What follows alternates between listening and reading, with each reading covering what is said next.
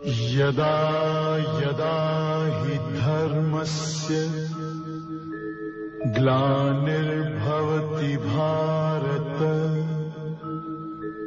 अभ्युत्थानम् अधर्मस्य तदात्मानम् सृजाम्यहम्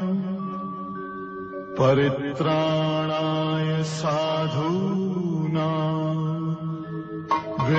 नाशाय च दुष्कृता